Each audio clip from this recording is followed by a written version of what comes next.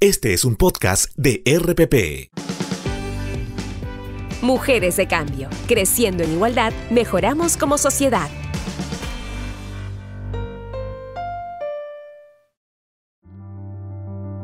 Yo siempre he tenido una vocación por dirigir.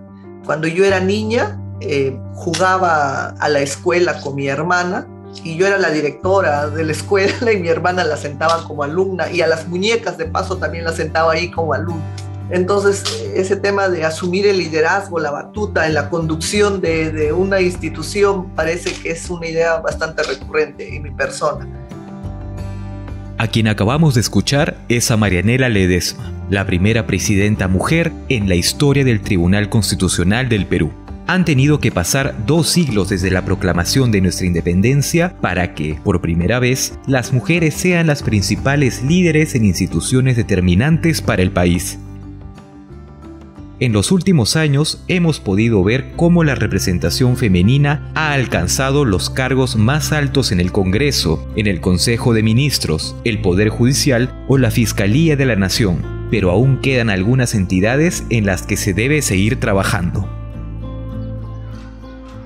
Ledesma asumió la presidencia del máximo intérprete de nuestra Constitución en el 2020, cuando tenía 56 años, pero el camino hasta su nombramiento empezó en el patio de su casa como un juego de niñas. A medida que avanzaba, la jueza empezó a enfrentarse con los típicos obstáculos que antes impidieron a muchas de sus colegas alcanzar sus objetivos. Comencé a escribir algunos artículos en algunos periódicos y en aquel tiempo el entorno decía, bueno, esos artículos no lo ha escrito ella, lo ha escrito su papá.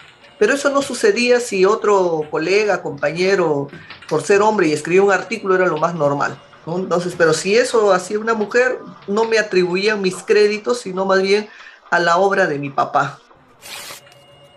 Los prejuicios de la época y que aún persisten hasta hoy le cerraron muchas puertas. Yo eh, siempre he querido ser juez titular del Poder Judicial y he postulado todos los cargos, relatora, juez de prepaz letrado, especializado, superior y suprema. Y en todos he pasado los exámenes de conocimiento, pero en la entrevista personal pues no era de, de repente de simpatía de, la, de los evaluadores, que al final terminaba no siendo apta para ser nombrada. Considero que no era por un tema de deficiencia académica. Yo soy profesora ordinaria en dos universidades de gran prestigio en nuestro país, he escrito libros, volúmenes de trabajo, pero yo no me amilanaba, igual seguía postulando. Su perseverancia la hizo enfrentarse constantemente a un ideal de mujer con el que no estaba de acuerdo, pero que continúa muy presente en el sector público. Mayormente el estereotipo es una mujer debe ser dócil, debe ser complaciente, con las ideas rectoras del momento, ¿no? Entonces, cuando tú aprecias una mujer más bien que es cuestionadora, de, plantear cambios, entre comillas, alguien que quiere revolucionar o transformar la situación del entorno, pues no, no se ve con mucha simpatía y más aún que sea eso enarbolada por una mujer, ¿no? Y es ese precisamente el paradigma que Elvia Barrios intentó romper cuando inició su carrera como jueza, sin imaginar que tiempo después, a los 62 años, se convertiría en la primera presidenta del Poder Judicial. Yo empecé mi trabajo este, de la magistratura, por ejemplo, más allá de primero desempeñarme como empleada, como fiscal provincial adjunta y había determinado tipo de actividades porque trabajaba en zona de terrorismo y muchos consideraban que no podía desempeñar eficientemente, por ejemplo, una intervención en, los, en la que se hacía con la policía, ¿no? Y lógicamente demostramos no solo yo, sino otras mujeres que trabajamos en ese entonces que podíamos hacerlo, lo hacíamos bien. En el Perú son millones las mujeres que son impedidas de completar su proyecto de vida. Según estadísticas de la Encuesta Nacional sobre Relaciones Sociales del 2019, el 52.7% de la población cree que las mujeres deben cumplir primero su rol de madre, esposa o ama de casa antes que realizar sus propios sueños. Luchar y alejarse de esta expectativa es crucial para conseguir su desarrollo personal y profesional. El día de hoy las mujeres tenemos mayores oportunidades y también, lógicamente, mejor competitividad porque tenemos mayor acceso a tener una educación de más alto nivel, precisamente porque a veces las mujeres, digamos así, dejamos de lado que se dice nos corresponde, que es el lado privado, el lado de la maternidad, el lado del cuido, etcétera, para darle más prioridad a nuestra profesionalización. Las experiencias de las mujeres que lograron enfrentarse a estos estereotipos se convierten en mensajes de resiliencia para las futuras generaciones, quienes ya empiezan a tomar la batuta.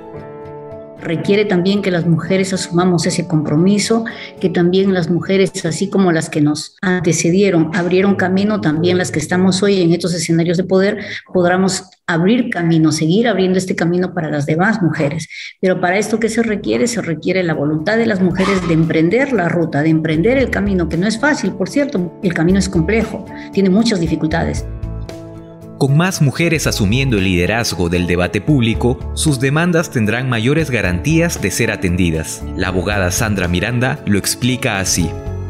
La presencia de las mujeres en su diversidad ayuda a legitimar las decisiones que se puedan tomar desde los espacios públicos. ¿Por qué? Porque va a contar con su voz, va a contar con su perspectiva, con su mirada.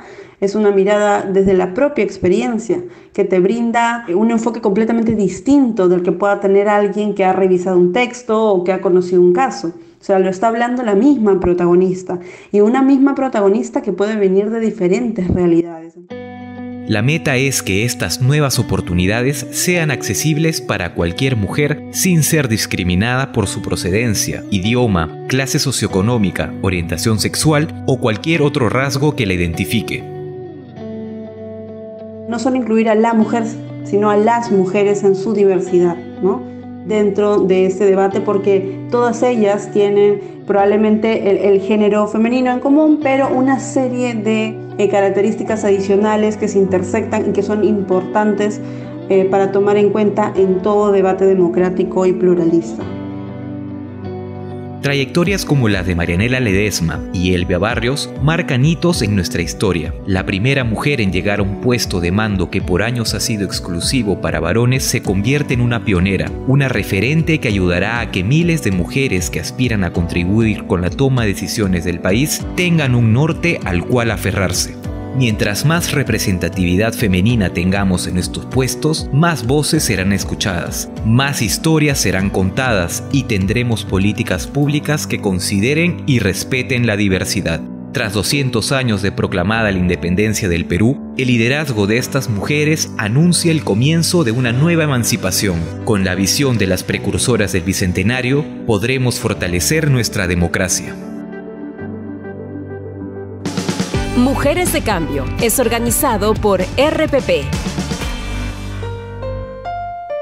Escucha más podcasts como este en rpp.pe, sección podcast y en audioplayer.pe.